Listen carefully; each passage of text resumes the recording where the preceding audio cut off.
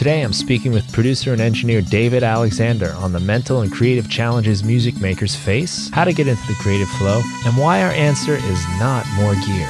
Please welcome David Alexander to the Music Production Podcast. Every single day, 120,000 songs are uploaded to the streaming services. And if each one of those songs is two and a half minutes long, that's 208 days of music every single day, which means over 200 years of music this year will be uploaded. How is your music going to stand out from that? I've got a brand new video called Finding Your Voice and Standing Out in Ableton Live 12. It talks about ways you can use some of the new features in Live 12, the tips, tricks, and techniques that will help you stand out. Plus, there's a lot of creative, philosophical things that you can use in any DAW. Along the way, I create an instrument using my own voice recorded into a telephone microphone that's a playable instrument that you can download for free. If you follow along with the video, you'll know how to make one for yourself. So check it all out. It's at brianfunk.com, or you can go to my YouTube page at brianfunkmusic. And I hope you enjoy this conversation with David Alexander, who has lots of great thoughts and ideas on how you can be unique, have personality in your music, and stand out from the crowd. Enjoy. So, David, thank you for being here, bearing with a few technical difficulties we had. But um, I'm really happy to have you because, as I said before, um, you've got so much cool stuff. Um, you're you're a producer, mixing engineer, mastering engineer, songwriter a lot of services you offer and where I came across you was through your TikTok and Instagram because my drummer Chris is really enjoying what you've got. And a lot of times in our philosophical discussions as a band, some of the ideas that he's picked up from you start turning up in our conversations. So I started watching your stuff and I'm like, yeah, this is exactly what I'm into. Um, kind of more the creative philosophy stuff um, because that's the hardest part. Even though we, you know, we just had technical difficulties here, that's a big part of what we do. But um, it is really like that's stuff that gets solved usually. It's oh yeah, yeah. Other stuff that's really tough, and um, I've just been really enjoying your your take on all of that. Thank you, thank you. You've got like a background we were talking about in like punk rock, hardcore music, and I think a lot of that stuff has this sort of no nonsense kind of cut the BS attitude out of it with the music, with the whole culture. And you seem to bring a lot of that into your approach to what you do today. For sure. I mean, I think like uh, if there's one thing that at least I was able to take out of uh, punk and hardcore, and ultimately is a big influence on me, is kind of like more of a leftist, kind of anti capitalist view, which makes me pretty uh, skeptical of kind of like the material reality of the objects we use to make music. And for me, at least, like being around now long enough, it's like I've seen like the pro audio industry go from servicing uh, pros to servicing consumers and how that started to like really impact people's perceptions of like what they're capable of doing or, or what they need in order to pursue their art. And I think a lot of what drives me to not talk about the gear as much is kind of realizing that like there's an element inside the gear industry even though the stuff is great like i love it but there's a part of it which is sort of preying on people and their dreams. And it's like the reality is you know most people that love music love music that uh, at least some of it was made in the most you know meager means or just whatever was available to the artist and i think that you know, like just gear isn't the challenge for most people, and I think it's a a big uh, diversion from the the kind of bigger path of making art and sharing that and like what that means for people. So, kind of where I get that. Yeah, that's an interesting point because uh, back when I was growing up, and it sounds like around the same time you were growing up, we didn't get advertised for like studio gear. You had to go to the studio. You didn't have your home studio. Maybe you had your four track recorder. That's yeah, what yeah. I had. You know, four track cassette. You know, my buddy had a four track, which was very instrumental in in my whole life. But but yeah, I mean, when I'm old enough that like the gear there wasn't yeah it wasn't marketed toward me as like a 14 year old and and the gear i could get was horrible compared to what's available now and you know it's changed so much it's, it's shocking in a lot of ways but you know if anything it makes me feel more uh, kind of interested in in uh, going toward the non-consumable side of music because that's the stuff that like you can't you can't buy and and it's the part that's hard in all reality. It's e- it's easy to buy stuff if you have the means but it's hard to make something that you know is good. So yeah it's like starting out a workout regimen or something the easiest part is like buying your clothes and your sneakers oh, you know? For sure for sure. And it's like you get you get stoked. You're like I, I bought all this stuff. And that's good. And it's like with music gear you definitely i mean i think everyone has had instances where you buy something and you're playing with it and then that becomes like the vehicle for what turns into a song. Um, but how much of that is actually the gear just versus like your own state of mind and your dopamine hit of a new thing um, yeah. and kind of like how to to navigate that without just having to feel compelled to just buy over and over again you know yeah and it is kind of funny too because now we do have all kinds of amazing equipment by just having a phone even or like any laptop that has GarageBand or anything like that you're you're stocked compared to where oh, we yeah. were back in the day oh yeah i mean i even think about like in the kind of like early 2000s when i started my journey with like working with just like local bands and friends of mine it's like in 2006 it's like if you had a fifteen hundred bucks to buy some gear to try to make some music, it's like what you can get now for the same amount, like eclipses eclipses yeah. it. I mean, you can, you know, you could easily, if you're making good music, you can buy what you need to make it commercially viable for fifteen hundred bucks, assuming you have a laptop. And it's like that wasn't even the case, you know, twenty years ago. Definitely not at all. Um, and it's it's crazy.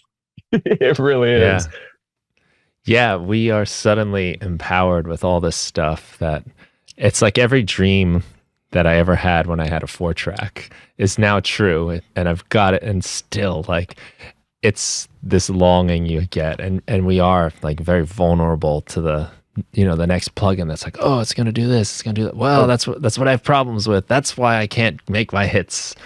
And for sure. You, for sure. and I think, I think it's easy for people like, uh, people who are beginning artists or producers, I think it's easy to like look out onto the internet. And then obviously like the most successful people like have the most expensive stuff.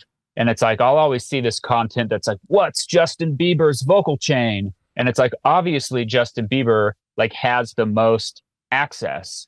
But it's like that doesn't really mean anything. And it's like if Justin Bieber happened to just enjoy recording on some just random, you know, dynamic microphone released in the 80s that no one cares about. It's like people would go crazy for that and it would still be making music people want to hear. And so I think it's really easy for people to like look out into the expanse of everything that's happening in music and just assume that they need all these things to achieve their goals when all it is is like you know, even for producers, it's like the more money you make, the more gear you buy. And it's not because you need it, it's because you just write it off your taxes.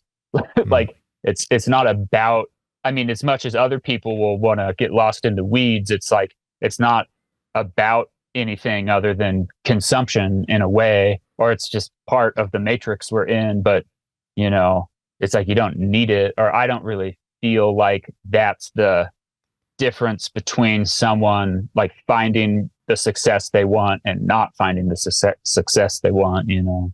Mm. Justin Bieber is actually a really good example too, because you know now you look at what he's got, sure, but he was once a kid on YouTube with probably just some cheap camera filming him, and that's how he got further and further along to where he is now. So we kind of know what he started with.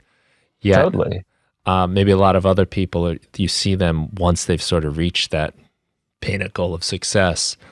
And then you say, oh, well, I need all those things because that's what you need to get there.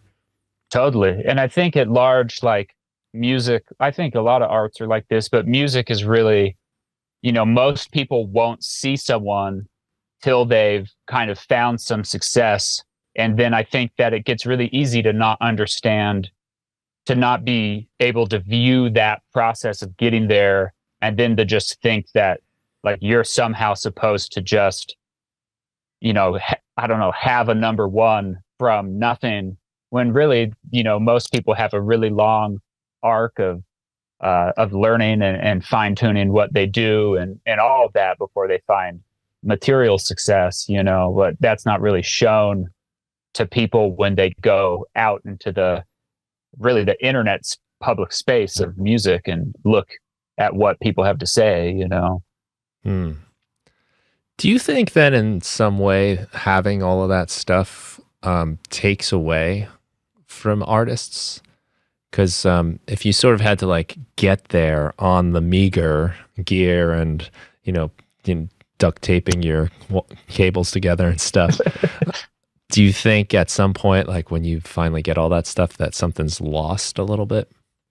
Um, I try to not think as much as I can seem skeptical about gear at large, like I try not to think too much about this sort of like quest for the most authentic authenticity.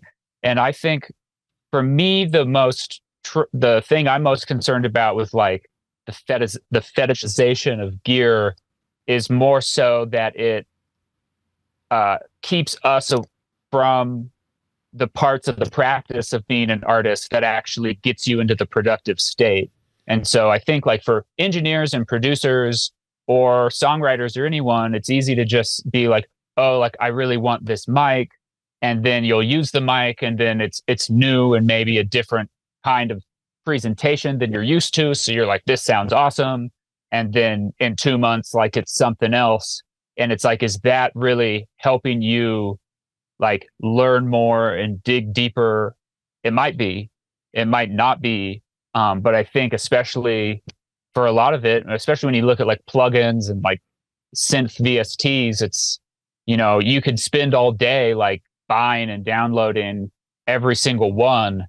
And like that can easily be a distraction from just the act of making music and i think a lot of times too uh, it's like when you look at the intersection of learning music theory or consuming gear, most people seem like they spend more time thinking about their consumption of the products than stuff as simple as just like you know, practicing your scales. And so I think a lot of times the consumption can get in the way of the practice that really will take you to the next step. Um, but at the same time it's like it's your fault. It's not the the you know the gear exists without any agency. It's like you that are that's doing it in a way. So you know i'm i'm pro gear but like i personally try to just keep a, as much perspective as i can about like what's going to have a meaningful impact in my goals and like what i'm trying to accomplish you know mm. right right yeah you doesn't matter how great your stuff is if you don't know how to EQ something or how to do basic functions with it. You know, when I first got some decent, it wasn't even decent. It was like I had a a compressor, a Alesis 3630 and a reverb. Yeah, and, the classic. Yeah, it was the first piece of gear I ever had to record. I was using eight ADAT machines, the VHS tapes oh, that yeah, Elisa yeah, yeah. too. So I didn't know what the hell I was doing with that thing. And I felt, you know, like compared to where I was a year ago with a four track cassette recorder, I was so far ahead and things sounded so much better, but not because of me. That was just. Yeah, yeah. And I think a lot of the stuff I did with like that compressor, especially, was damaging to the sound. Yeah, so I, I think I, I think that's that's maybe the most uh, damaging compressor ever released on the market. Yeah, the market. Um, but yeah, I, I mean, still I have it the, right here. yeah, I mean, I feel the same way. Just you know, like I've been doing this stuff for almost 20 years, and I feel like in the last two, I can really hear what the compressor's doing. At least I think I can. I thought I could before, so who who knows? Yeah. But it's like the it's such a long process, and it's uh, you know, and, and the skill of listening, I mean, it, it takes a lifetime. And I think that that's something that is harder to cultivate than people want to believe kind of, you know, like it, mm. it's, it's, you, it's hard to listen. You have to be proactive and disengaged at the same time. And uh, yeah, I mean, it's a, it's a lifelong process, you know. And I've kind of given up on, maybe not given up, but it's like I try to never think that I have like kind of solved anything. I'm sort of perpetually like searching to un- better understand the tools and, and better listen and better uh, have a deep understanding of you know what the processes are doing to the audio, why people might want to do that, why they might not want to do that, and you know mm. takes takes a lifetime. Yeah, it is one of those like kind of unfinishable missions, learning yeah, yeah. music and producing music. And you make a good point about just listening, just really sitting there and paying attention. And for all the years I've been doing it, I'm still kind of shocked when I listen to a song I've heard a million times and notice something I never noticed before. It's like, oh, totally. how the hell is that? Like I've been listening, I thought, but you're just your depth of ability keeps growing and you start yeah, picking and, up. Yeah, and and I think there's a huge there's a huge context, like a cultural context to listening to. Like just the other day, I was listening to Tom Petty, and uh, I forget what song it was, but there's a song I've heard a million times, and I was like, man, this sounds like shit. And and it's like, but you know, so many of the times that I listen to it, I'm just like, it's it's Tom Petty. He's one of the greats. It's like it's incredible. But like in that context at that moment, like in the headphones, when I wasn't listening necessarily to just enjoy it, I was like, in a lot of ways, the recording's not even very good. And I just never really thought about it. Um, and that hmm. also is a big part of kind of what I think about with music at large and how, you know, intersecting with the gear idea is it's like the most important thing is for someone to hear your song and just like it. And it's like whether or not it even sounds good is auxiliary to creating something that moves them. Um, and i think that's where i try to focus you know the intensity of my thought towards like what is that? Like how do you make something that grabs people and not being like oh i need i need this i need this so and so's de-essing his vocals with this so that's what i need to use too it's like you know, doesn't matter really. Hmm. Now, when you say it sounds like shit, this is a fun question, I think, especially for you, because you're, and it even says like in your bio on your webpage, you're interested in artists who are not served by mainstream music. And in listening to the tracks you've worked on, these are not shiny pop songs. Like no, a lot, no, a lot no. of them, a lot of them are aggressive and have maybe even like certain vibe to them. And it's something I love to do in my own music. I, I, I think a lot of what I do, uh, probably a lot of people would say sounds like shit. I will purposely degrade the sound. Um, I love yeah. recording onto a tape machine, and I love distorting things in weird ways, or kind of doing stuff that the textbooks will tell you not to do, but it sounds neat as a character. So when you say that, what does that mean to you? Um, I guess like as much as I like, I I work, you know, a lot of my work's been in like punk and hardcore and and adjacent genres that all sound like shit. I mean, I'll be honest, they primarily it's sound kind of the style in a way. Yeah, yeah, and I love it. Prim- I, so I'm not yeah, speaking it, it, badly it, about this. No, ne- neither am I. I mean, it's in service to the art. Um, but there's also like there's a big part of me like I grew up in uh like my dad is super into hi-fi and so he was a very very avid music listener and uh you know there's a part of me that really appreciates albums that are you know very meticulously crafted and you know stuff that would really be considered hi-fi you know as much as it's like i mean i even think about like stuff like you know lyle lovett in the 80s it's like late 80s it's like those recordings are like they're like pristinely made and I do have a fascination with those kinds of sounds, even if it's not intersecting with kind of like what I make or what I do. Um, and I think that like, I don't know, I think there's a lot of stuff that doesn't really sound that good, but that's like not the point. The point is someone listening to music and being like, fuck yeah, like I love it. Um, and so yeah, I mean, there's tons of music that I think sounds bad. Um, but but I also think like that's part of like as an engineer, it's like I in a way I it's like I have a fantasy in my mind of how something potentially could sound. And it's like as I'm making music and mixing music, it's like I'm always kind of trying to move towards some ideal that doesn't exist. And so because of that, it's easy to look at other stuff and just be like, oh, this sucks. The recorder or the mixing. But that doesn't mean that the music isn't awesome. And it also doesn't mean that like the mix doesn't like serve its purpose and doesn't serve the music and doesn't serve the artist. Um, and so I don't, if there's anyone out there that thinks I'm somehow telling them their mix sounds like shit, I'm not doing, not doing that.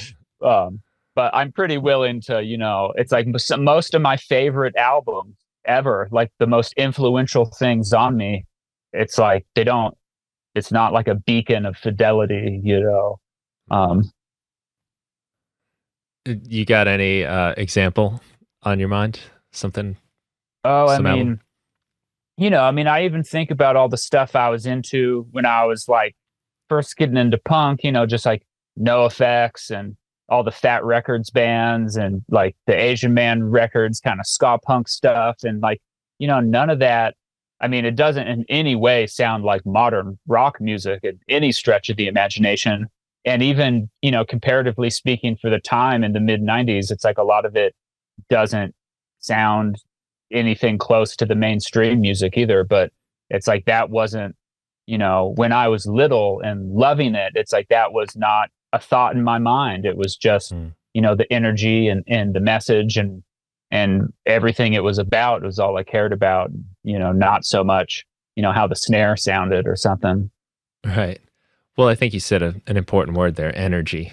And, you know, thinking back to some of that stuff from my own memory, they're very energetic. They're they're like oh. hot those recordings and um they yeah they're they're raw but they're they capture something some of the spirit yeah yeah and it's like for a lot of music um you know i mean even to me with like punk oriented stuff it's like a lot of records that people really love it's like they wouldn't they wouldn't make any sense if they were redone today, you know, like could could you listen to Black Flag with the drums quantized and sample replaced? Mm. It's like it wouldn't make any sense. Mm. It would be it would it would be antithetical to what the music is. And you know, I think it's like, you know, music's no different than painting. It's like every painting doesn't have to be a realist portrait of something. Like it can be it can be any way of expressing it. And if that touches someone, you know that's the measure for like if it's good you at least to me i think of it that way you know. Mm. yeah that's a that's a cool way to think about it. And um and with painting uh from my you know high school art history memory which is not the best uh, a, a big moment happened when photography came out. Everything was realistic was really important kind of up until the photograph came out and then you start getting a lot of this more like abstract stuff, impressionist stuff that was not meant to be that way on purpose. Um, I, I wonder if we're seeing that at all, or if we will see that a bit, because things have gotten so slick and clean and maybe even generic in a lot of ways. And um, I'm wondering what happens now with like AI. Last night I was online. I got a comment on one of my videos, and they were they said something like, you know, yeah, it's a great time to make music, but then Suno came along, which S U N O. I'm not yeah, sure yeah. if that's how you say it, but I started playing around with it, and I was like, let me see if I can get something that sounds like kind of, uh, I guess, authentic. So I was writing yeah. like acoustic guitar by the campfire. Yeah, and yeah. everything it spit out was just like really generic. It's impressive that it can do that in seconds, but it it felt just kind of like so bland, you know. Yeah. Um and and I'm wondering if maybe we're going to get to that. I'm hoping we do, honestly, that we'll start like really embracing this kind of like idea of a the the emotion and not so much the slick kind of formula that seems like it's everywhere now. Yeah, and I think I mean I think about the AI related stuff a lot and especially lately it's been on my mind more and I've used I've played around with like some tools and it's interesting um and I think that you know for me my my primary kind of thought and concern with it is like I'm a firm believer that like you know like art is kind of like the domain of of humans and I think that like we already kind of live uh I just don't think there's a whole lot positive that will come out of like you know realistically you know multinational conglomerates like owning AI algorithms that then generate the majority of commercially viable music. I don't think that's good uh, for humans. I think that I think that's I think that's ultimately kind of negative. And it's like obviously there's an argument of like, you know, oh, it's just a tool. It, it's how you use it, and that's true. Um, I think my main skepticism comes from, you know, it's like if if Universal Music Group like owns the most advanced AI as well as like the ways to, you know, get music in front of the most people and then that's just what it is. It's like what's the what's the you know who does that serve? Like who, it doesn't really benefit anybody. And it's like i think especially like coming from like a punk background is it's like i do believe like in music is like a vehicle of like social change and, and personal change too. I mean it's been hugely impactful for me. And i think that like the more that it's controlled by you know the the powers that already have an outsized influence on you know the collective thinking of the world we live in it's like what's the you know what's the function of the music then? That that's kind of like my main concern because you look at any of the big revolutions in music uh, when it comes to sounds which are generally driven by technology it's like with those revolutions has come like a revolution sort of of the mind you know a, res- a revolution of what people are thinking and, and putting into the music and then how that ends up how that ends up going into the collective consciousness and and creating new ways of imagining the world we live in. And so my biggest fear is like if it's if all the music is made by disney it's like disney's not going to tell you to increase their tax rate. Like you know what i mean? It's like what's the function of the music will be to serve the corporate overlords and that's the exact opposite thing that I'm interested in doing. So I, I get a bit frightened by it, but you know, I think the I think the unfortunate reality is within probably five or six years, I imagine that AI will be able to generate songs that sound commercially convincing with lyrics. And what is what happens then? You know, I wonder.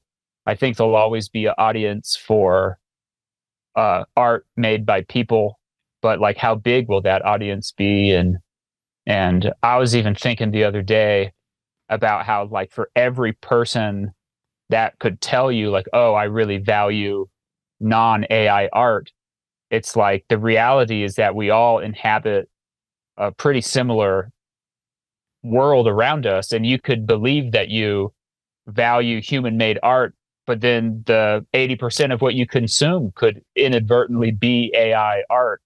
And so I just wonder like what does that what does that mean not just for the business but just for people and, and culture and how we relate with each other and and all this kind of stuff, you know, it's it's a it's crazy. Mm. It's a crazy time. Yeah, kind of like for the soul of everybody. What yeah, kind of. And like, you know, I think yeah, I mean, I just I I often think about how you know we had humans had music kind of probably before we could talk. I mean, this is one of the primary building blocks of of our survival. It's like it's part of how we integrate with our consciousness, which then integrates with the material world.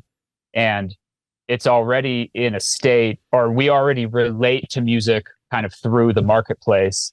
And so it's like when that becomes even more commodified and removed from kind of these more ancient ways that we employ music it's like what does that mean for the human experience you know? And uh, that's what i think about with ai a lot to be honest. Um, but it'll be interesting to see what happens it will. Uh, i was thinking about how we can survive like without being like hugged. You know for Yeah, instance yeah. you can survive. Like you yeah i've i've gone a long time. No hugs. But it's so much more of like a richer experience with like that stuff in it the stuff like maybe it's not gonna be life and death. Um and kind of with art and music um it's really important but yeah you could survive without it but Sure. what does it do and how does that then change um our abilities to like empathize with each other and relate to each other and connect and then even see things from different perspectives Oh, totally. You know, it's uh you I think, you know, modern popular culture has had so many moments where a song, you know, punctuated a big event or a big turning point in how the collective culture, you know, integrates with something. Hmm. And uh, you know, just to think about like that power being given to you know AI models and whoever owns them, um, and diminishing the power of you know some random kid somewhere to have the chance to maybe speak their mind and have that uh, be able to to make a change in the world is is uh, you know is frightening to me. I'm I'm you know my hope is that you know we could somehow live in a world where more people have the opportunity to to do something that's impactful to others, not less. You know. hmm Right. Yeah, I wonder if we're having fewer of those common reference points too. Now that we're Yeah. all, we get our curated vision of the world through our social media algorithms and the stuff that they know we're going to click on and, and pay more attention to. And I Totally. I, do find it with, um, it used to be a lot easier. Did you see that thing that was on TV last night? Or Mhm. did you see the songs that were on MTV? Um, and sometimes I think we we kind of uh, resented that a little bit, but there was something nice about this. Is like something we all know that's going on, and there seems to be like fewer and fewer of those things. And if they happen, they happen fast and they're gone. Yeah, yeah. I mean, I I definitely agree. I mean, I think there's plenty of things to critique about how the music industry kind of used to function. Um, but you know, I think the one thing that can be positive is, or more positive, is that like when there's less, uh, like kind of less music being pushed, it gives people more opportunity to you know to have more of a collective experience with it because you're more focused. Because you know like i was saying it's like if you go back you know in time to you know humans being hunter and gatherers it's like you know there there was effectively maybe one song and this then the song was constantly sort of changing and morphing within the cr- communities. But like you know i would imagine they didn't play a set you know you know hmm. 45,000 years ago. It's like they would just create music and that would kind of have its own life and then that would impact everyone that was there to view it um, and then you know that collective experience is part of what gave groups of people their identity you know? And i think that's part of how you know i think that's part of how humans are happy is to receive group identity you know? Because we're not just you know i always think about people are kind of like ants and it's like we need the the ant hill of of all of us to get the full experience of kind of like how we work you Mm. know Oh yeah, I mean that's why we're to this level of. Uh, oh yeah why know, there's like eight billion of us. Yeah, it's not because we have claws or sharp teeth or anything. It's how we work together. That's our superpower. Totally, totally. Yeah. yeah, and I, I bet in those days too, more people were participating in the music making. Um, but everyone banged on the drum. Everyone danced yeah. and shouted and chanted along. Um, whereas today, I mean, I don't know, maybe this is a cool thing about some of the technology is that it might be, it definitely democratizes a lot of it. Um, oh, for sure. So I don't know.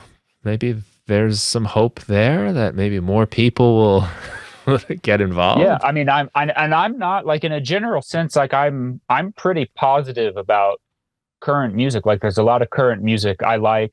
I think it's definitely uh, music at large is. I mean, it's always changing, but I'm not like negative about current music. I'm honestly someone that has a pretty insatiable appetite for new music, so I'm always hoovering up whatever I can.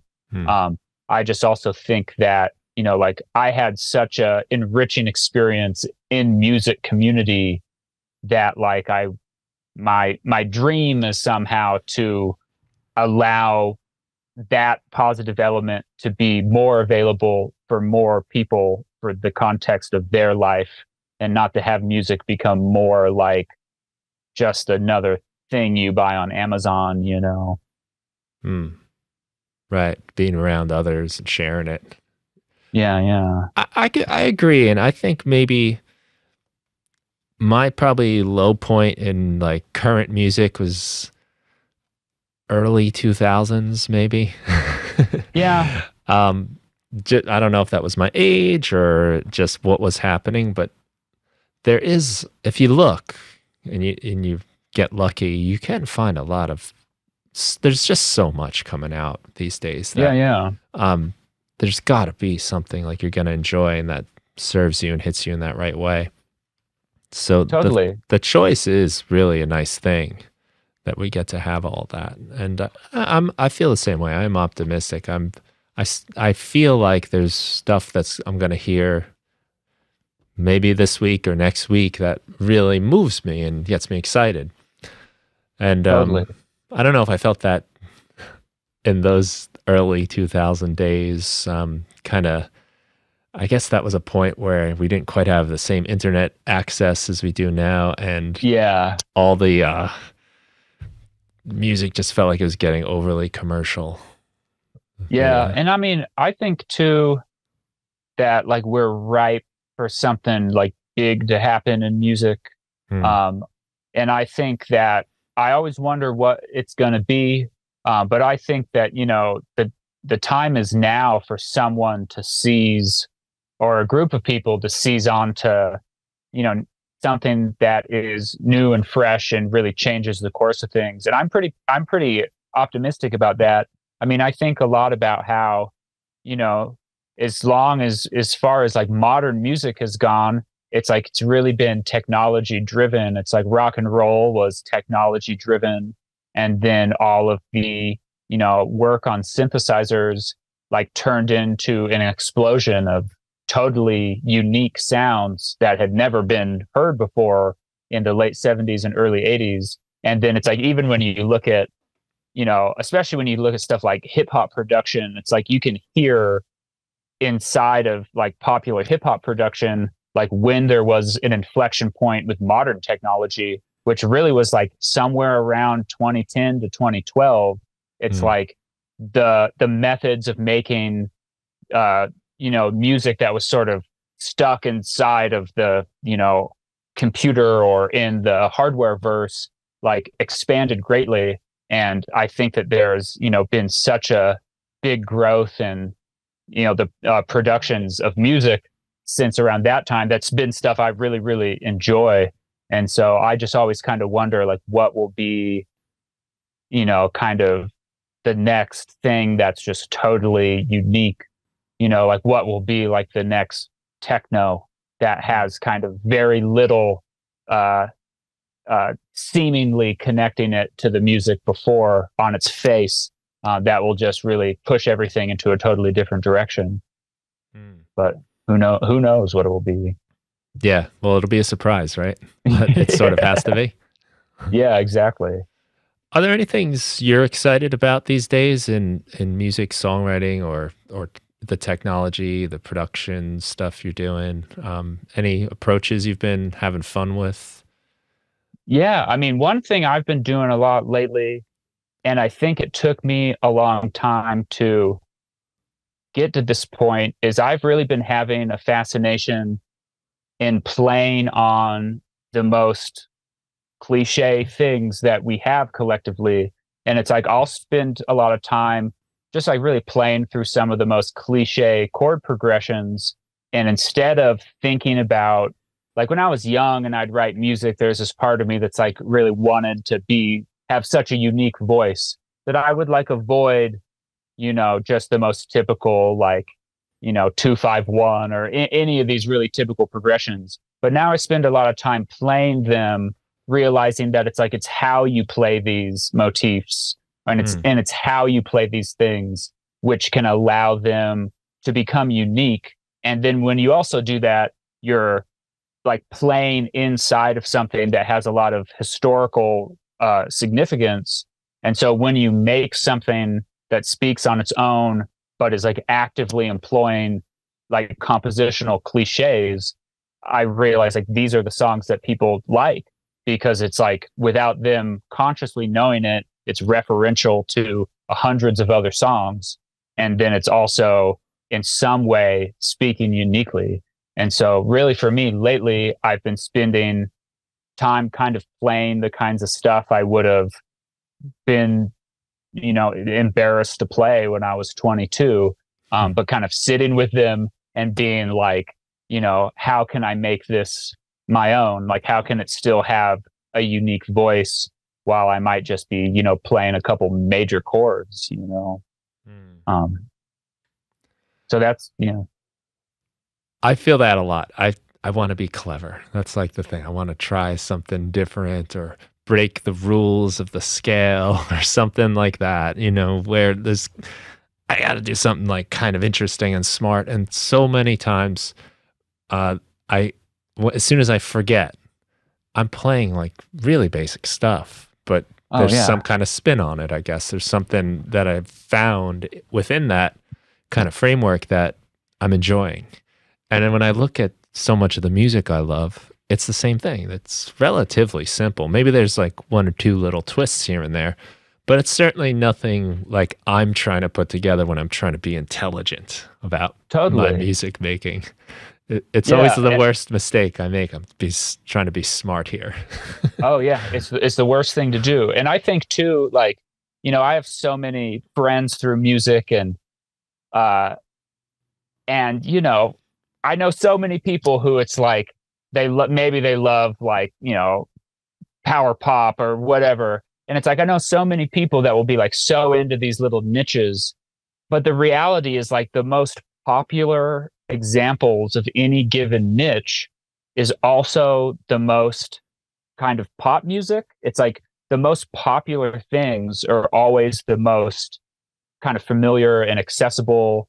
And I think that uh, as I age, I sort of see uh, that that's more tantalizing to me than it used to be. And it makes me kind of think about how uh, you know employing this stuff and using it. And also thinking too about like something being clever uh sometimes can be more in the zoom out of the song. Like when you're making a song you can be like well you know i'm in you know the third measure of the verse. And it's like being clever doesn't doesn't happen right there. Like it might happen in the album. It might mm. happen in the song within its context of any particular person's journey. It's like and I think realizing that at least helps me stop to stress about any particular thing at any particular moment in a song because where where the twist is or where the sort of hook is could be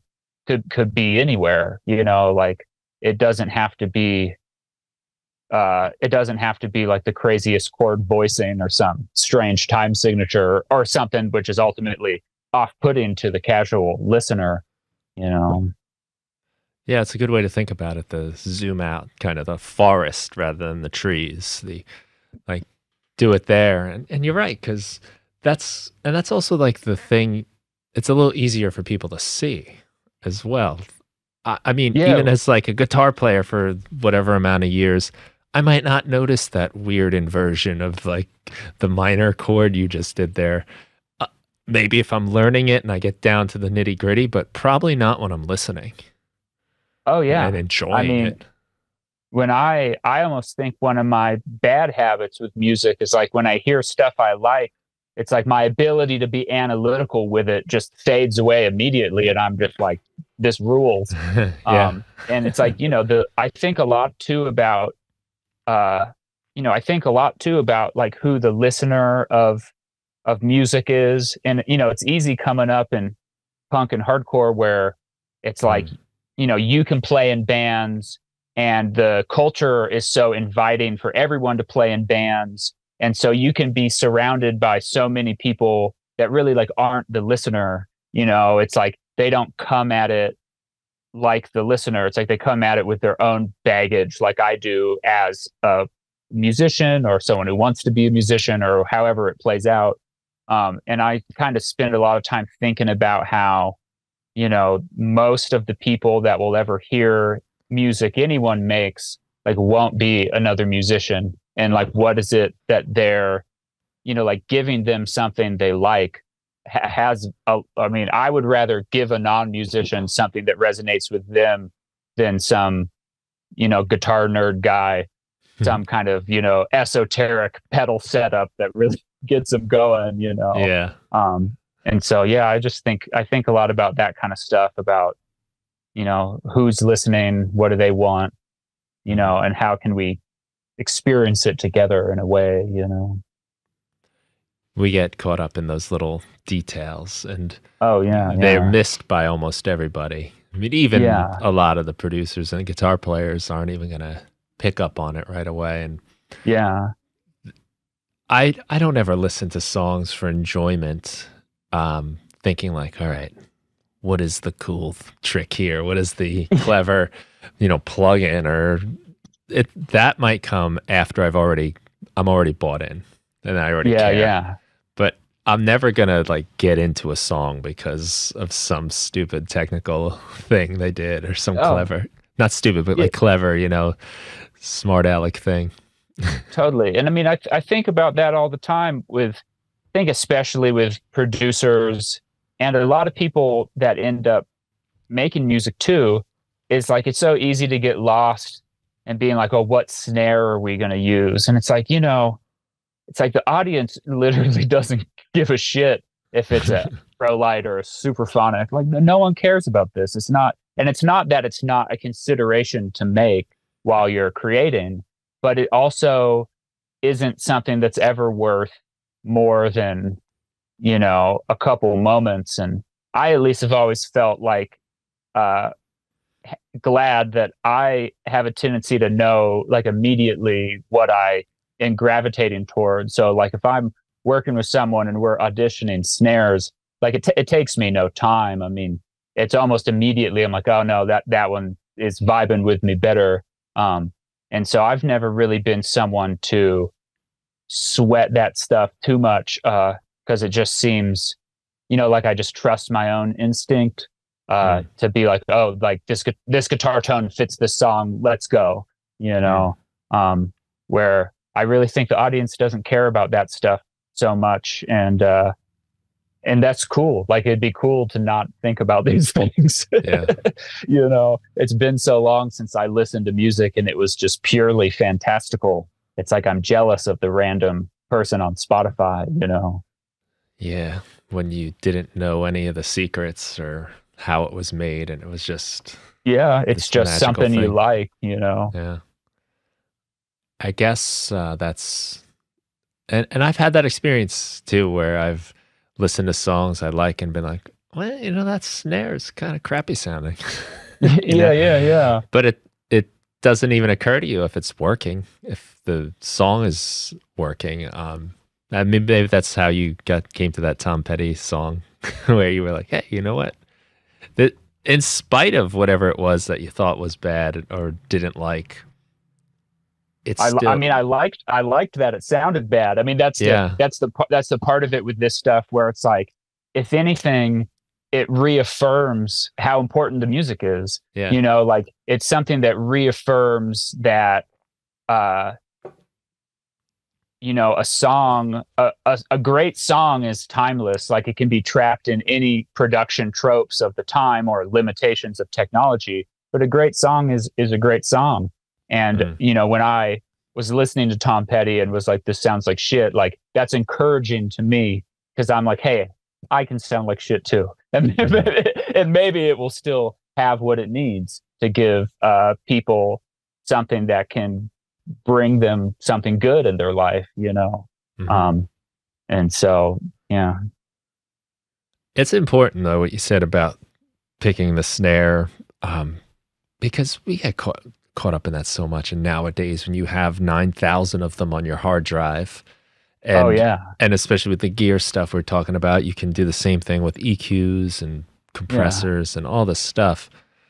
Um, it's it's starting to feel like the most important thing is that you just pick one, that you oh just for decide sure, sure. make that decision Yeah. and then move forward and work with it let it be what it is when i Yeah.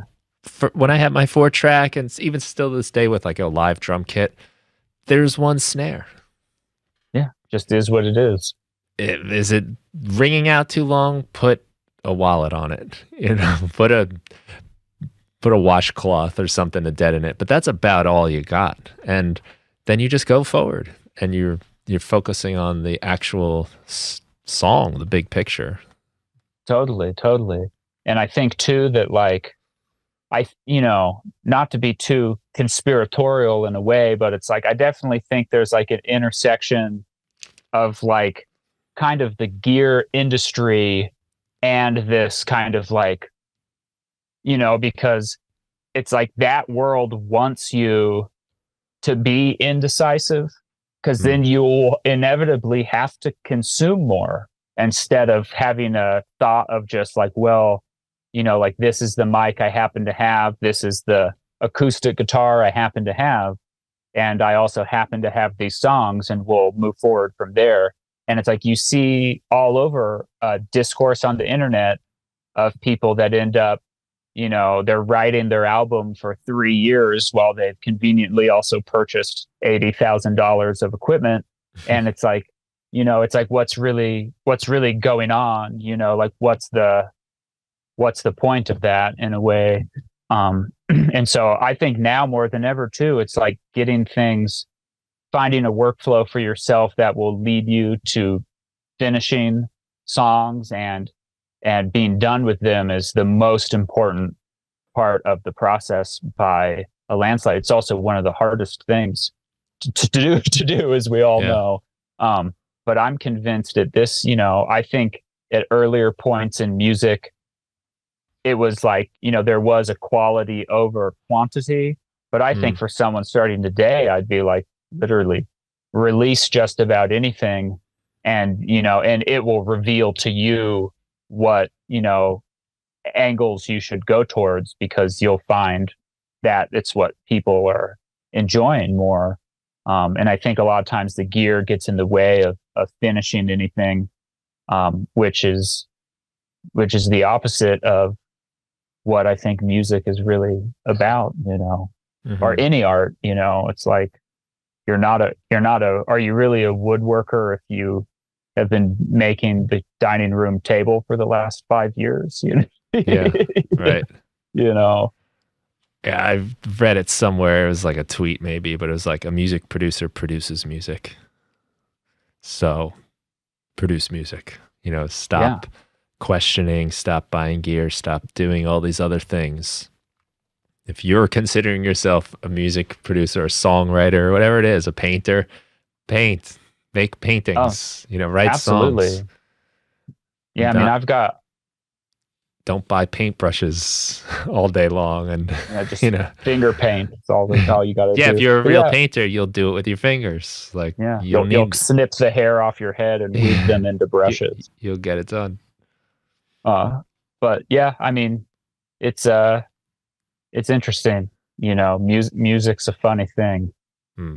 So Well, finishing is the thing we get the least amount of practice in by Yeah. default because it comes last. So you have to do everything else first. So it's the yeah. last road you get to walk on.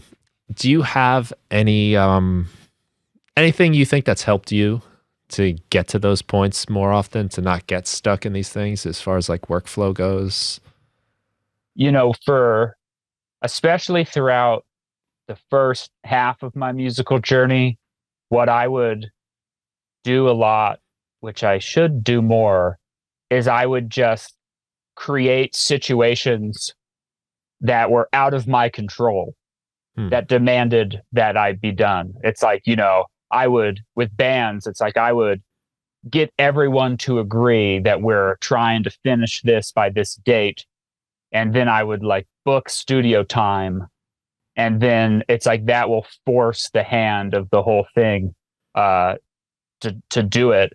Um, but in modern, you know, in my more current situation, I think the best thing really is you have to get that mindset maybe without someone or something being really firm about when things are done. And now I think, you know, I think about how every part of song creation like is its own practice and you have to turn finishing a song into being as easy as doing some guitar riffs. You know like for me like i could i could give you an endless stream of guitar riffs all day every day. I could just play and play and play and it takes nothing out of me. And so for me it's like when it comes to like writing lyrics and finishing songs it's like i'm always thinking about like the more that I can think about it, almost like my aimless noodlings on guitar, and make the process as integrated with me as my aimless noodlings on the guitar, then I can generate things that are closer to being fully done as readily as I can just pick up a guitar and start playing it.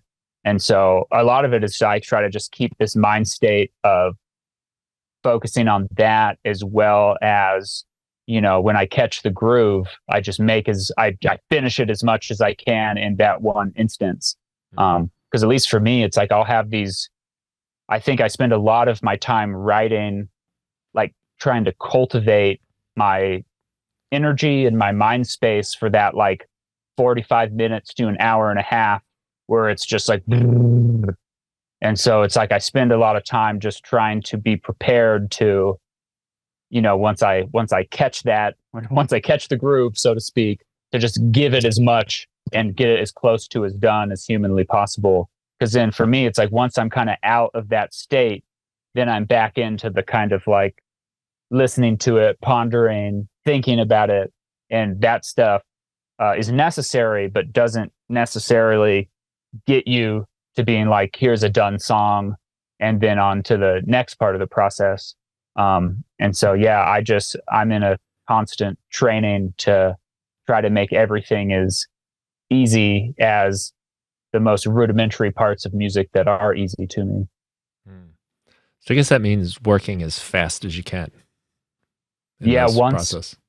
Yeah. Once you, once you got something, it's like, for me, it's like all, I also look in songwriting and think about how like all the best, not all the best songs, but so many songs that are really meaningful for people, like whatever is like the core of the song musically, like whatever is the core musical motif can exist all on its own. And on its own, it still has that forward momentum and that kind of like automatic pull.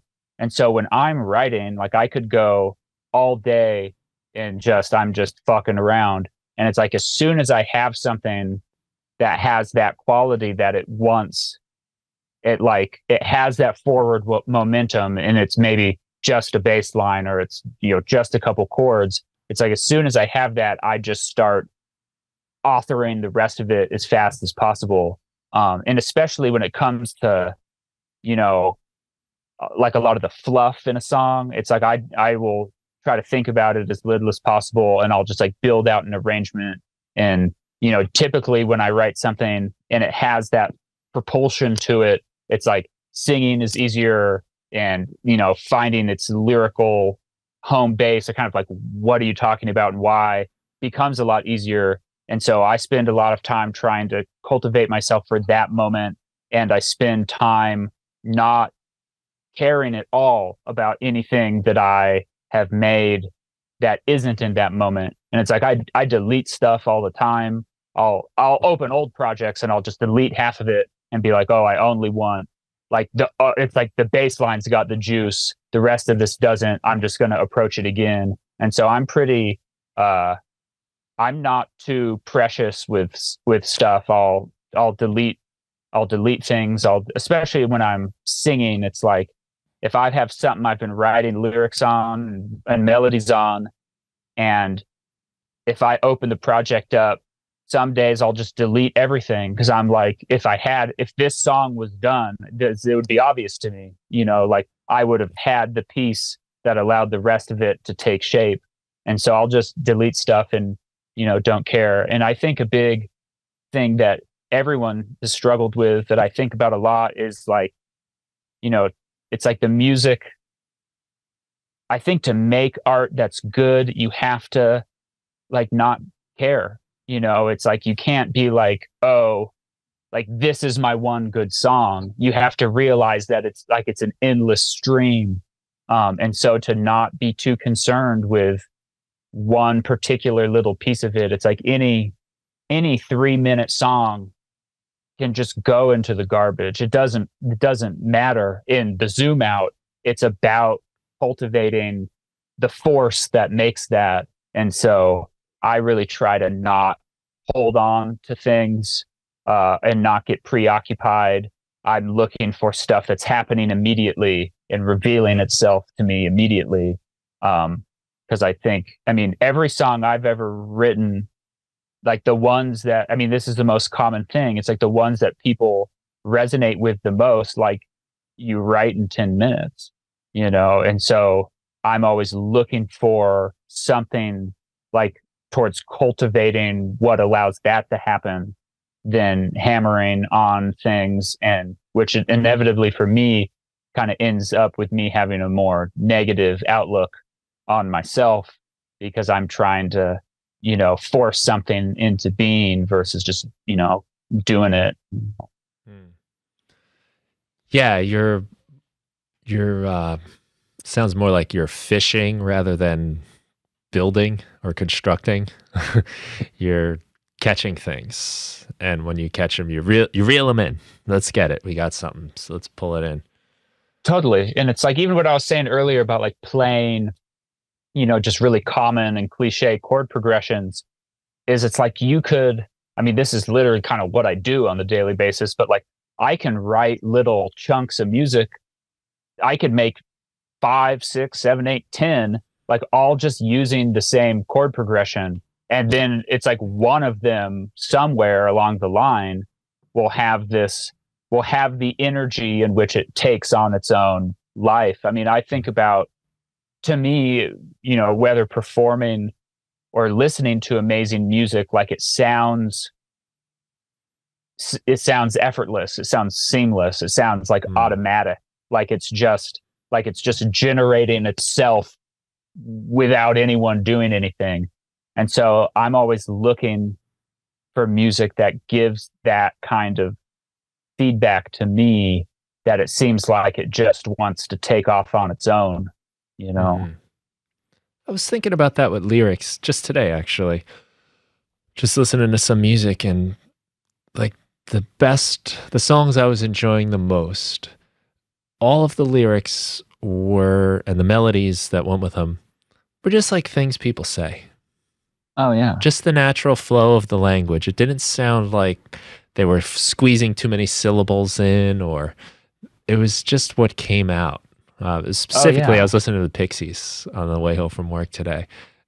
And I was just like, they just say things, you know? And like, yeah. they, they're not like, none of the lines are incomplete really there's not like these half lines that stop in a weird spot and then finish because that's where the melody would go and it, it has this like effortless thing and i you know i wonder if you know that's why you get some like interesting lyrics that they have because they're you know, like who says like this monkey's gone to heaven like but Yeah, I- the way it comes out and that it just sounds like how you say it Yeah. Um, I mean, I, it's, it's that effortless thing you're talking about though it's kind of just arrived Totally. I mean, when I was, uh, you know, a lot of my early adventures in music with my friends growing up was very like making music kind of just for our own amusement. It's like, it'd be like joke songs and just like just playing as children, really. Mm. And the reality is, I think a lot about that kind of stuff because it's like it's so easy to make when you have no preconceptions you know like it's so it's so easy to it's so easy to fill in the words to a song when you don't care what you say you know Mhm. when you don't have any uh any sort of hold up about who you're supposed to be or what a song's supposed to be or what you want to say or supposed to say and i think that a lot of great music you know at least with songs i've written it's like I'll kind of be hammering at something, and then at some point, it's like lyrics will just drop into it. And I Hmm. think that songs that are really catchy, which you know, I I don't know if I've ever made a song I'd call really really catchy, but like for songs that are really catchy, I feel like once there's like a melodic and vocal motif that has that energy, it's like you can just drop you can just drop words into it Mm. end, endlessly. It become it becomes easy ish. Um, and so yeah, I think a lot with lyrics about kind of trying to locate these little melodic chunks and little kind of motifs that feel like I can just continue to free associate words into them. And then within that, I'll start to understand more what I'm trying to say. If there's anything coherent in that, or, you know, any of the next steps. But I think, you know, and I think a lot of that is like I have a really big love and, and fascination with like rap and hip hop. And I think that that is a great example of like the whole music culture is like about facilitating that action, which is just saying something with the music. Mhm. You know, there's, uh, you know, I think a lot of the greats, there's, you know, I think rockers have a lot of hesitancy. You know, they're hesitant to say something. And so they're like, well, is this really what I mean to say? Yeah. you know but in rap and hip hop it it's liberated in the sense of like you know there's so many words in any given song and the word and the song really is the words that you can't you, you're not afforded that kind of uh over analyzation of everything or you can't do it you know and i think that's that's cool that's that's like you know i what i like about art is its ability to liberate and it's like in a way it's like it's a liberated speech you can Mm. it it demands you do that and so i think any music that has that kind of element in it lyrically is interesting to me because you know my own ideal state is kind of one in which i'm just spilling words out without too much of a care about like who i am and what i'm supposed to be and what people think and all that kind of stuff That's my favorite way to do lyrics is to just kind of blabber, just oh yeah let it out. You know, maybe if it's with the band, we just jam on it for a while, or if it's I'm by myself, it loops and just I'll record it and then listen back for oh that was cool, that was cool, that was a good melody. I like the way the vowels and consonants line up here, and that's a good Oh, to- phrasing. But totally it's it's like stuff I would never be able to just write, like to purposely do. It has to sort of just Oh, yeah. feel natural. And I think like yeah you ever uh you know like certain songs you you might just like sing your own lyrics to, like Oh, like a dude, I really good it- I- song. Yeah, I do the obscene version of other people's music all the time around the house. But I think that's probably the reason you can do that is because they're kind of they have that character to them that that that uh, aspect where it's put together in that way. It's got that thing you were talking about. Yeah, that, yeah, you um, can just kind of drop stuff into it Yeah. almost. Um, yeah, I mean, I think that that's. I think that's true. And I think a lot too with like writing vocals and writing melodies is it's like I find that the best songs almost have like a core vocal motif that is really loot. It's like the vocal motif might not even be sung. It's just sort of like the arena it plays in.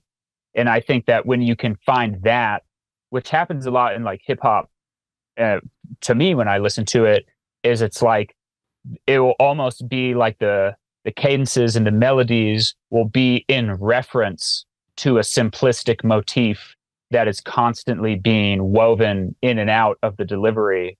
And so it's like I always think about wanting to create music that has that sort of simplistic nursery rhyme ism, but then the vocals are playing inside of it uh, and referencing it without ever being that hyper simplistic. And so I think with really good songs that you can just start to sing whatever over, it's because they've provided you that little box to basically solo inside of. Hmm. and so it's like I'm always kind of looking at like I listening to other music and being like, how are they building that motif? You know, is it even the vocal that's containing that motif that kind of is the playground for the solo of the vocal. Um, because I think when you look especially into the charts of popular music, there's sort of like you can almost graph it. It's like stuff that wants to be popular music will be really rigid inside of this sort of nursery rhyme, sort of Lego brick version of vocal melody. And then by the time you get to like, I don't know, someone like SZA, it's like she has these core motifs that are instantaneously recognizable, but she's like she's like soloing, like it's uninhibited, it's cut loose, but it's mm. inside of that simplistic framework, which allows it to be pop music. Um, and so I really spend a lot of time, honestly, like listening and thinking about those kinds of compositional ideas. Um, and you, and you see the same thing, I think, in all the instrumentation um, I think that the more alive that music sounds, it tends to be more of creating a core simplistic musical motif and then, you know, just becoming jazz inside of it, basically, you know. Hmm. Yeah, you've got the kind of blueprint. These are like, this is the format, and now you've got play around within this. Yeah, yeah, hmm. definitely. So before I, I meant to ask you this before we kind of kept going, which is cool. But uh, you were talking about you know finding that moment where you get maybe it's the bass line, maybe it's the the groove or whatever that has that thing, and then you want to attack it. But you talked about setting up, preparing yourself for that. what does that look like? The preparing for those moments. I mean, Are you sitting there with candles and, or uh, is it what goes into kind of setting the stage to allow for that stuff to happen? Um, you know, for me, it's uh, I've been trying to be more routine focused, um, and uh, sort of managing myself and my time. And so there's definitely like a routine element, which I kind of find in in its own way is like ritualistic. Um, typically, my most creative time tends to be in the evening. So I feel like I spend, you know, like if I'm, you know, doing work that day, you know, I'm I'm doing my work, which I think has uh, honestly like a good, especially like mixing and stuff is for me a really great way to like engage some of my creativity without engaging like my creativity.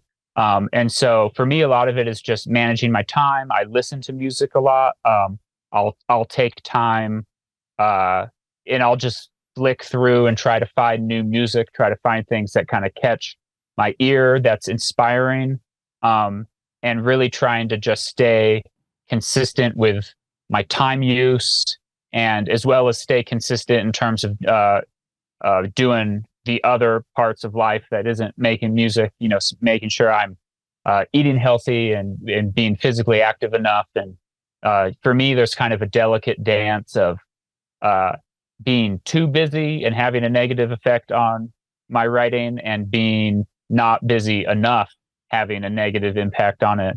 Um, and so, yeah, a lot of it's just kind of, you know, giving my time to the eventual moment in which I'll be more creative, if that makes any sense. It's kind of like a, you know, in my mind more than anything else. But um, I just, I also really try. I used to be really bad at this. I used to really have a lot of, uh, um, like I would, I used to maybe like get upset with myself when I wasn't productive enough. I'd, I'd put a lot on myself.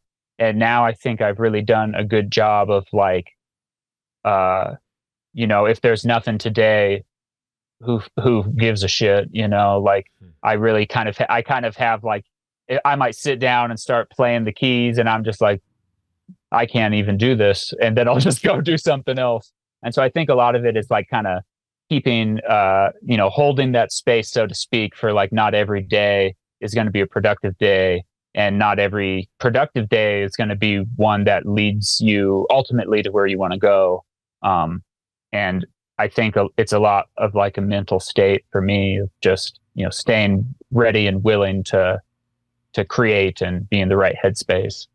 Mm. Yeah, you so you're showing up and seeing what's there, and but also, I, I, mean, I know that feeling of that like guilt of like I should be doing this, and oh and it, yeah, it's the worst when you are you know you might be taking some time to rest which you definitely need. Everyone needs that especially making music mixing. You got to get out of the room every once in a while just to sort of refresh the ears.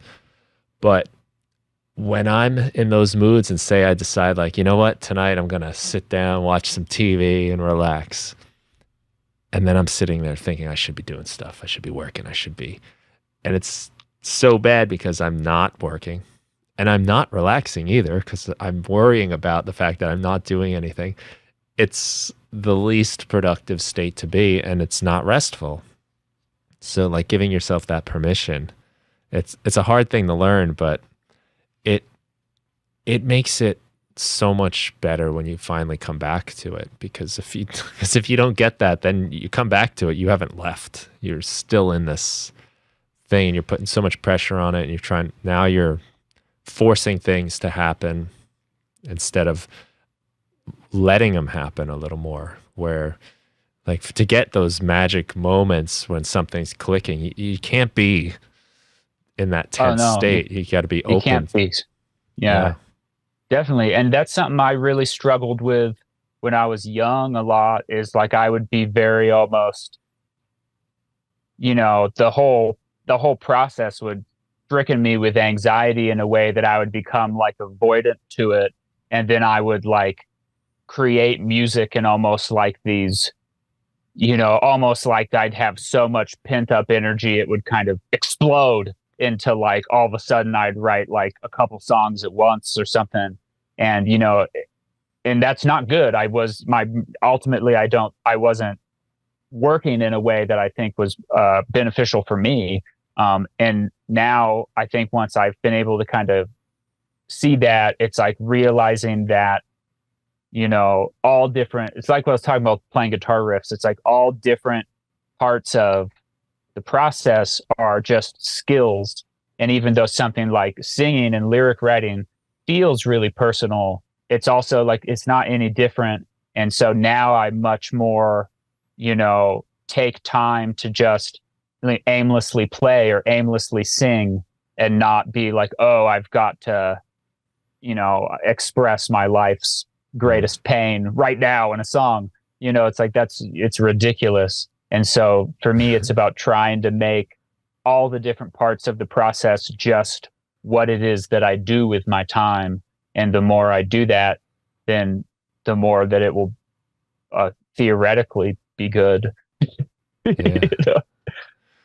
uh, singing and lyrics are especially prone to that kind of feeling where oh for sure you know like you can play your guitar and yeah you can put your soul into it but you can also just noodle you know, and Yeah. it's it's both are totally acceptable, but there's something about singing and words that have an extra weight to them, and and they don't need to, like you said, Yeah. they really don't. But um, I I get caught up in that all the time, and it's the part I avoid the most because it's the scariest, and it's the one that I feel the least capable in. Yeah. And it's also generally the biggest focus of what I'm doing. Oh, the, for sure. At the end of the day, when the song is done, even though like I might, maybe it's drum programming that I think I'm great at, and that's people hear the lyrics first. People hear Oh, the singing sure. first. Yeah, they hear the song. I mean, and that's kind of like, you know, I think that in its own way is kind of one of the big catch 22s of the whole the whole game of it. I mean, I think that people look I think people ultimately look up to singers or other kinds of public performers almost it's like it's not the singing itself, it's like the willingness to do it. You know, like I I've made a TikTok kind of about this where you know, kind of like this idea that people are afraid of public speaking and like that's why the people that speak in public are like CEOs Yeah. you know it's be, it's because they're harnessing something that like is frightening for other people. And you know i think that with music or any art you know in a way it's like i want my own art to in some way frighten me as well as in some way frighten everyone else.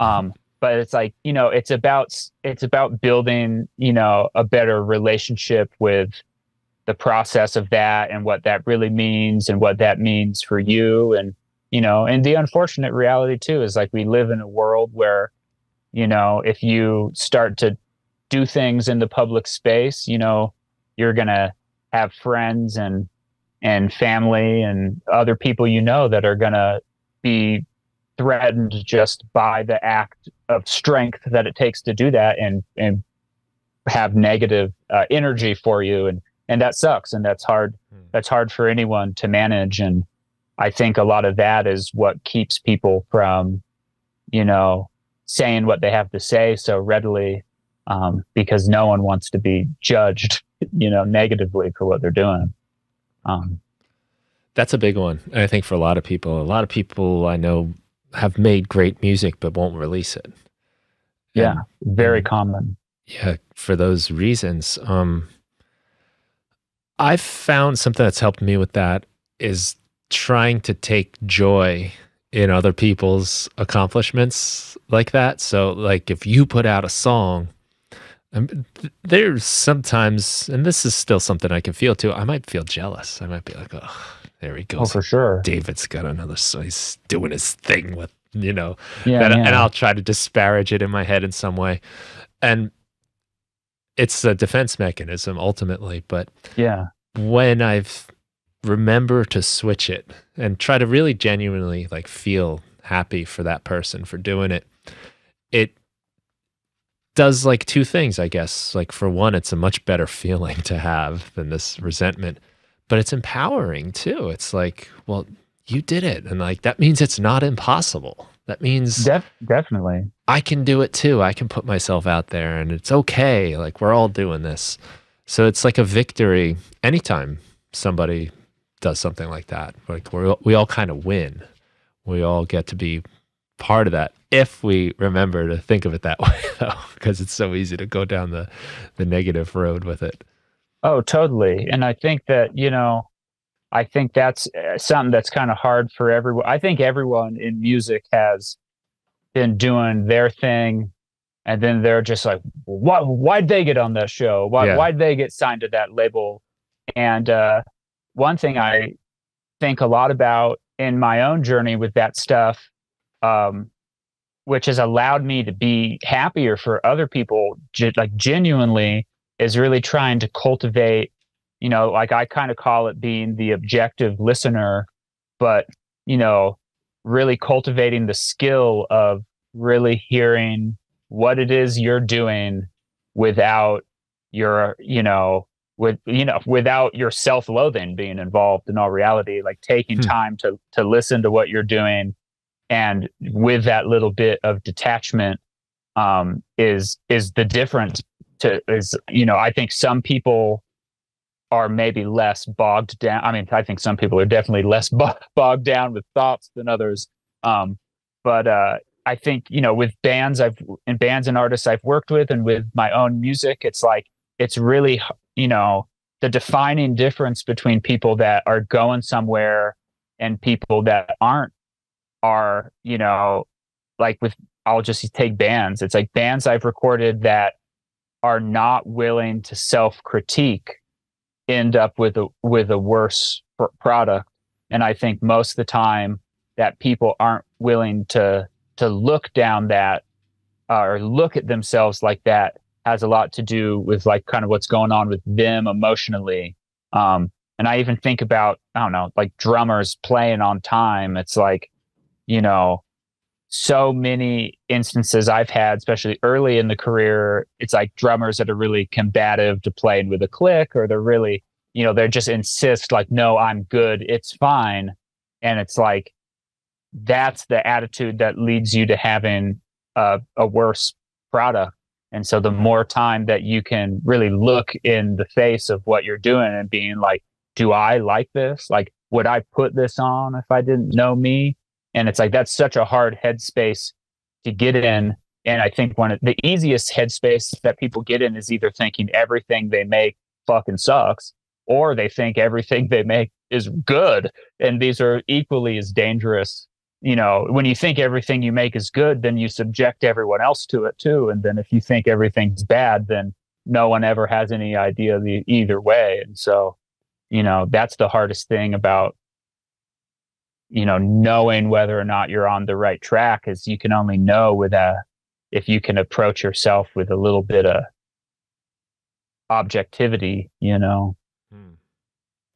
it's hard sometimes to get there but i think you're right it's very rewarding it's yeah and, and you gotta have like kind of the open mind as well that maybe they're not right too you you but take it in um and playing in a band has been helpful for me for that lately. I grew up playing in bands and then it was more like solo stuff. Mm-hmm. But now it's kind of come back around to that. And I get to do both now. So that's important because I can really just let go into the collaboration of the band, right? Like I don't need to control everything. Whereas when I was younger yeah. and it was all I had, it's like, no, the drums have to do this part. Like it has oh, to be, sure. you know. But now it's the the point is collaborating. That's why we're here.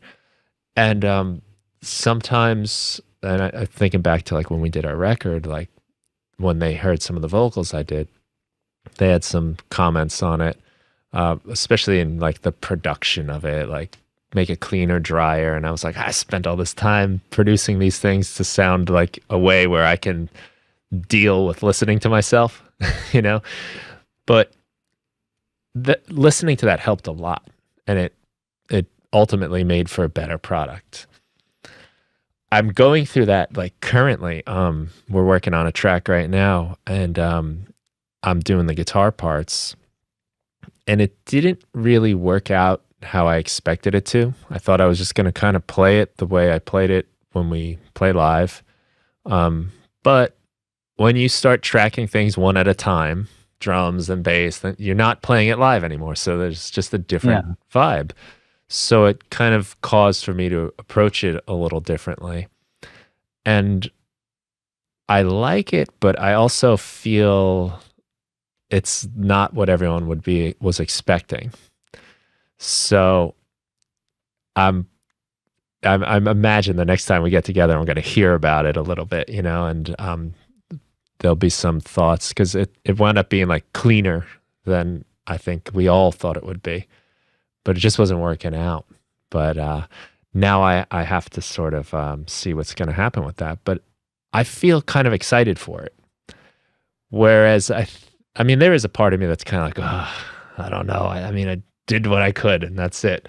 But yeah, I'm afraid, I am afraid that I'm going to have to do it all over. but yeah, I'm, it's an interesting place to be because I, I guess I know that um, it's going to get better and I'm going to get better because of it. Yeah, definitely. I mean, and I think too that like something like your guitar part you're talking about is a good example of what I was saying of like, you know, in the zoom out of the song, maybe what you're doing is perfect.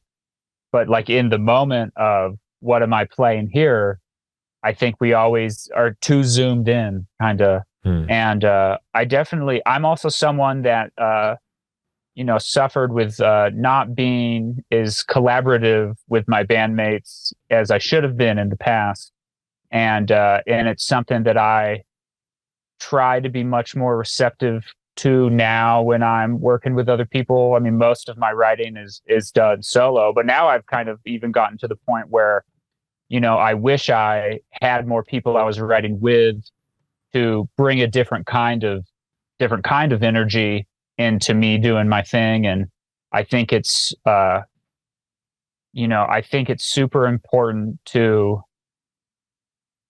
let me think about how to phrase this i think like if you're if you're in a band or if you're an artist and it's like you're the vi- you're the person with the vision it's like that is really a, a leadership role and i think about how part of being a leader is like uh, allowing the people you're leading to become maximized at their greatest state. And I think a lot when I was younger, I was more ego driven and was more worried about someone, you know, not seeing my vision or, or stepping on my toes instead of being like taking the leadership position and being like, I might be writing the songs, but like this other band member has a different skill that's really good. Why don't we put energy into making that as productive as possible um, instead of trying to be just sort of ego driven? And uh, that's stuff that I think is really easy to get kind of mixed up in when you're younger. And I think a lot now, a lot of that has to do with kind of my attempt at being an objective listener and kind of, you know, releasing uh, myself from my process of making art you know like it's not necessarily you know like i don't know i mean even even a good song you write like is it me you know and and who am i you know not to get just too lost in the weeds but uh yeah i think a lot about uh you know dealing with other people in music and all that kind of stuff is uh you know really one of the big challenges and i think where a lot of people, you know, kind of misstep in their journey and and uh, it's uh, it's crazy. You know, being in a, being in bands with people, it's like you have four girlfriends at the same time or something. It's it's yeah, uh, relationships you're trying to hold yeah. together and and they're vulnerable. You know, it's it's yeah. a very vulnerable state. Totally. I've really come to embrace this idea of like it's more it's more important to keep the relationship going than it is to have my part go in the song the way I want it or or have that drum fill or have that bass part or whatever it is. It's more the the important thing is here is playing together with these people. That's what counts here and if even if I feel deep down, which doesn't happen, but if I felt like this song is ruined because of whatever, who cares? Like that's one of them. That's one. And like you said, yeah. like songs, they'll come they're, and go. That they're not. They're just throwaway. They're, they're, they're, we're not going to run out. you know, yeah. like oh, if we would have done that one right, it's. uh, and I guess that's true in a lot of relationships, really, right? Like it's if you win the argument and the relationship ends, then did you win? you know? Yeah, you know what what's well, what's the what's the point, you know? And yeah. like, yeah, I mean, for me and my journey playing with bands, it's like, you know, I've been fortunate enough to make a lot of music with people that were, you know, friends of mine from childhood, even once we were well into adulthood, you know, making making music with people I uh, you know, care about outside of being in the practice room with them.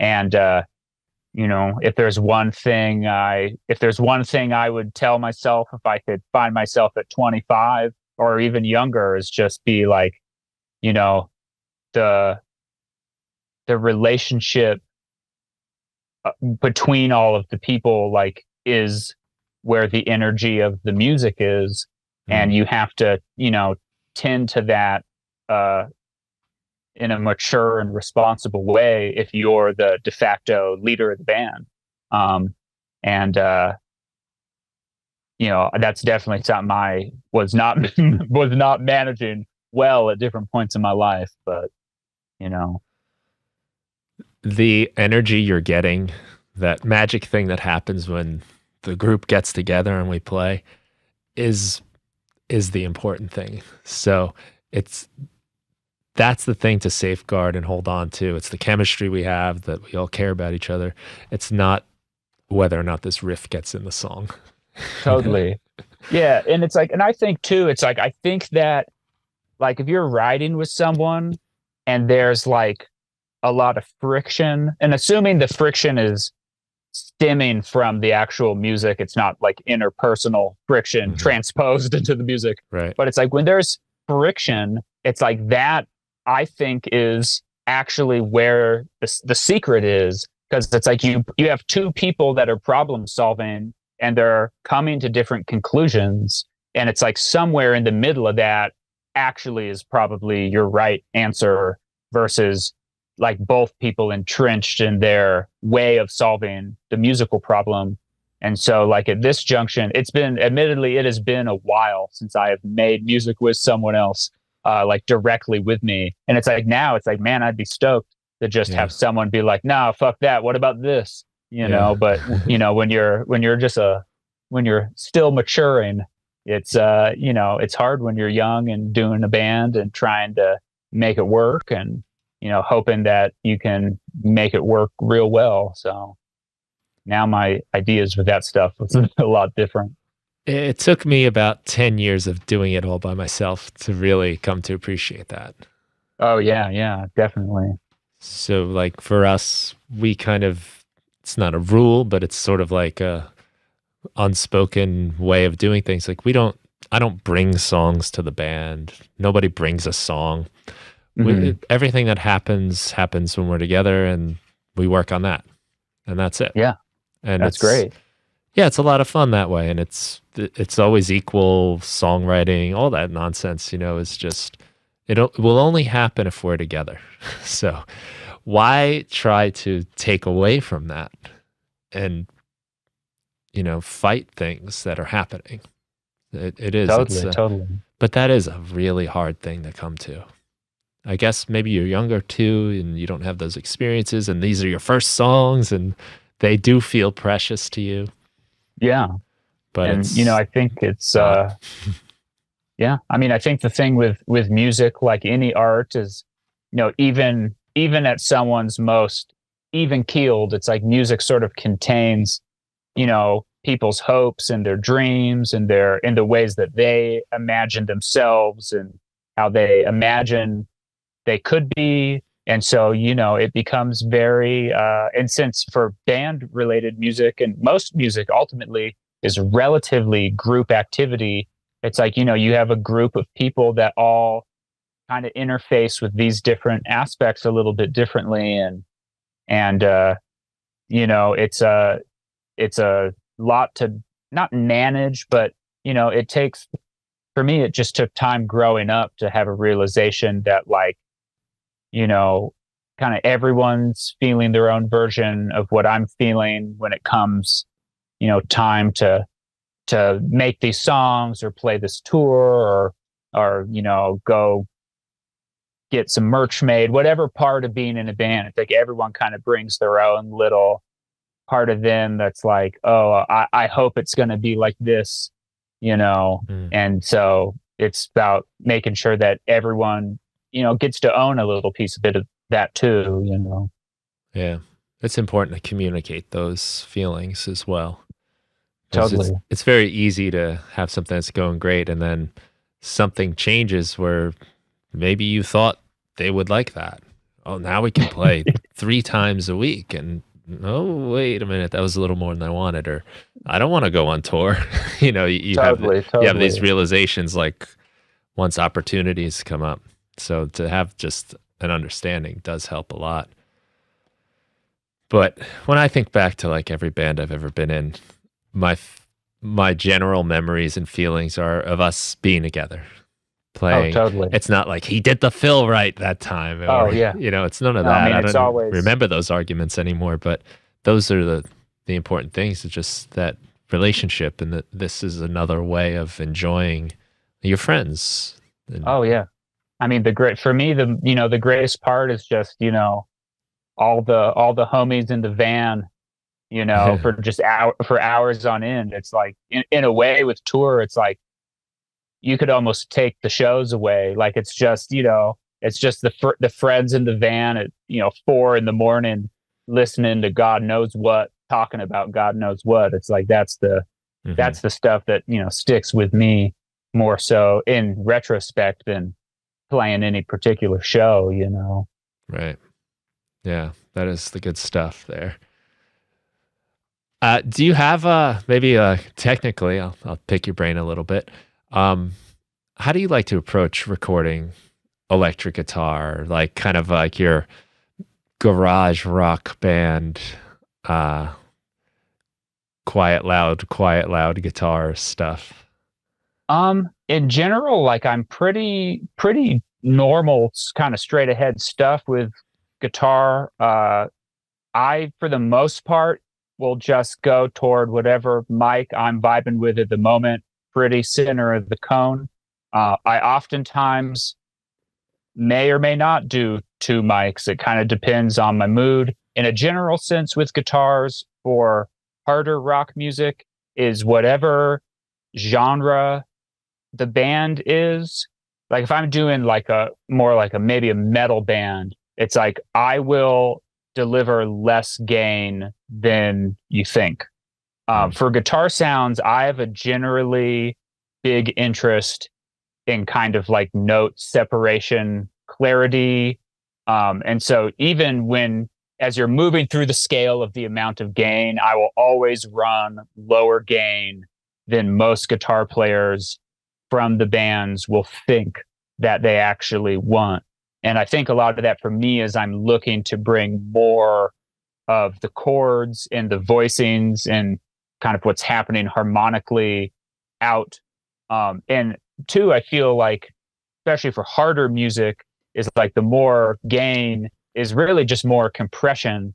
And for harder music that's more like groove based, like, you know, hardcore into like metalcore stuff, it's like I'm actually looking to maximize kind of more dynamics out of the guitar. And so I'm looking at sort of less compression as distortion.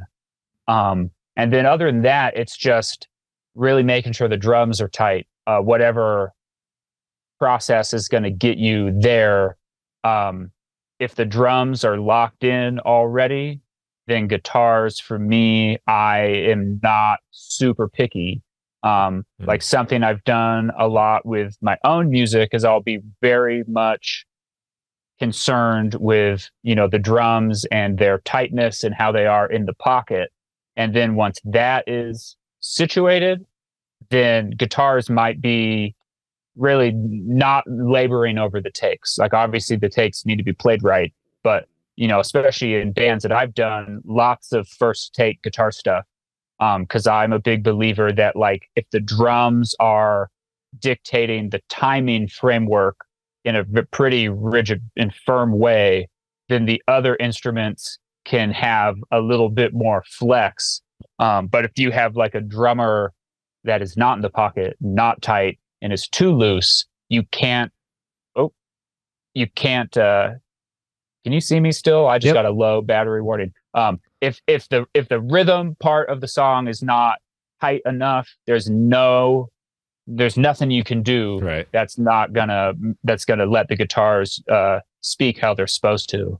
Um, and so yeah, my main thing for guitars is little less gain than you think you might want, and just making sure like the rhythm is is good to go. And then otherwise, like you know, for mics and stuff, I'm a big fan of the M201 for guitars. So I might put that on there.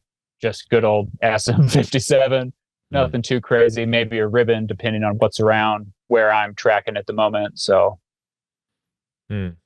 nothing I'm, too out of the ordinary I'm definitely afforded that luxury uh, as the guitar player. Like I have the wiggle room, especially rhythmically, and um, as long as everything else is there, uh, it it's nice, especially when you're trying to sing too. Mm-hmm. Yeah, I've I had that kind of issue with this particular recording. Like the gain, it was just it took my guitar like out of the band, you know. And then I was listening to it, it was like kind of like there's just too much, you know, kind of going on, like all that like Mhm. high frequency harmonics, and um, it just didn't like sound like it was there with the band yeah, as much. yeah. And I tried doing like some room mics, and it, it wasn't. It wasn't until I went much cleaner, Mhm. and then it, it had like a rounder sound. It's felt more like it was in the room. Kind of yeah, and I'm layering in yeah. acoustics helped a lot actually too. Totally. Yeah. And like in general with guitars, I'm not I'm not super interested in a lot of like modern sounds, like even stuff like Dual Recs and a lot of the amps the metal guys like is not really my vibe, even if I'm playing metal, because they're like or even if I'm tracking something metallic. It's like to me they're like too compressed. And you know, some of those amps will have uh, you know, some kind of clipping in the preamp, which is not from the tube. And I really enjoy amps that generally have a low amount of sag and a lot of headroom, and then running them loud, um, and and getting that, uh, yeah, as I said, like kind of getting the dynamics out of it. Where it's like to me, it's like something like a dual rec has a really different uh, sort of transient and attack profile, even if the gain setting is really similar to if you had like a JCM 800. And so in general, I'm much more interested in amps that have less of that compressed feel. Um, and, and obviously it's like genre dependent and different people have different kinds of feelings. But I'm like also a person that like if I'm playing or recording like more higher gain music, like I might even still play single coils. Um, I kind of am going for kind of more openness, more dynamics versus it just kind of really being smashed out. Mm. So, you know, but it's all contextual, you know, Yeah. it's like different stuff demands different sounds, but um yeah. You know, Hmm. guitars Yeah. are cool. They're cool. They're strange too sometimes. Like you said, um, the gain thing. Uh, you, live, you think it it has it works differently than it does when you record it. Um, Totally. something weird happens. It's weird when you click on like a distortion and it it drops from the clean because hmm you know that like frequency profile has changed. That all that low end that you had with the clean sound has now been offset by that kind of high frequency stuff that's happening in the distortion, and a lot of times it just gets wimpy. Like Totally. And we, that- I this mean, is supposed to hit here, and then it goes.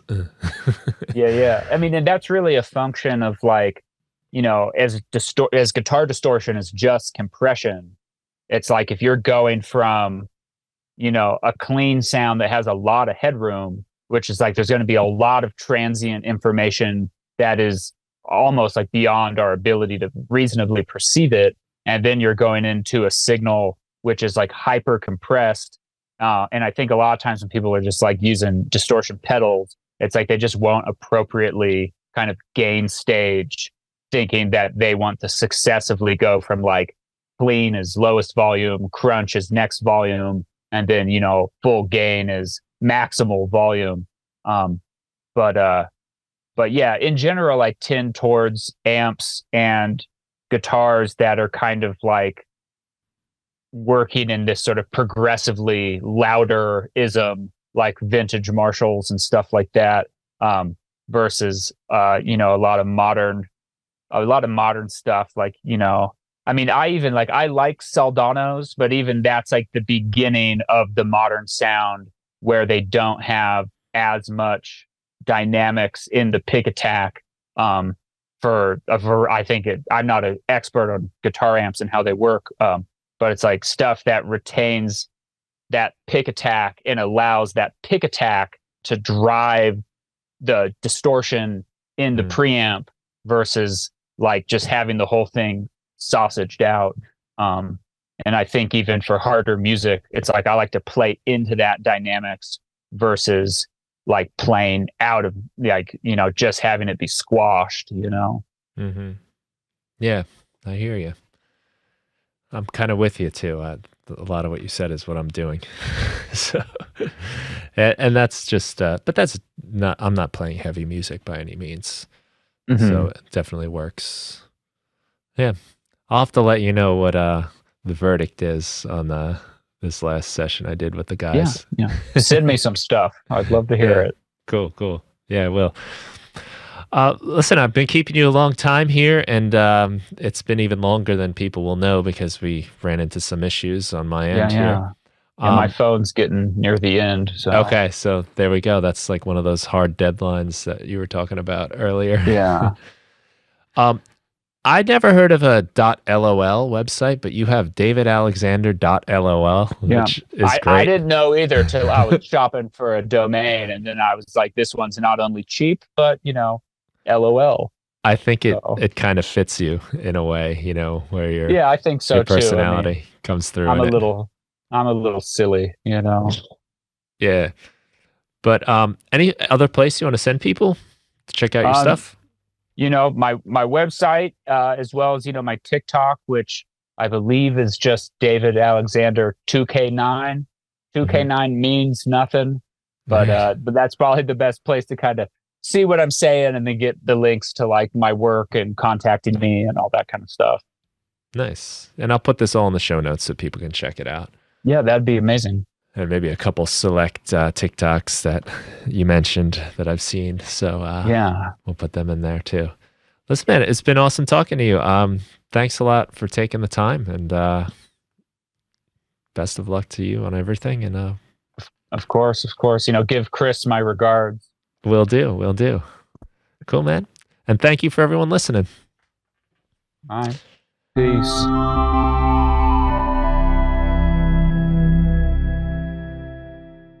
Thank you for listening to the Music Production Podcast. If you want to help support the show, the best thing you can do is tell a friend, someone you think that would enjoy the show. I'd also love it if you could leave a review wherever you get your podcasts. And if you want to support my work, you can go to brianfunk.com. I've got tons of Ableton Live packs, tutorials, samples. You can check out my book, The 5 Minute Music Producer, which gives you 365 short music making activities to help you get started, stay inspired, and finish more music. And there's also the Music Production Club where you get my latest releases as soon as they're finished. It gives you access to a community of like minded people who are making music and sharing ideas. You can share your music, find new collaborators, and participate in our live meetings where we set up some kind of musical challenge and then make music together and share our results at the end.